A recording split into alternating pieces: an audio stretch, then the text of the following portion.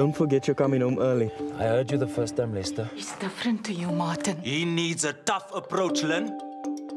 Where are you? I'm in a meeting. Rugby's in your blood.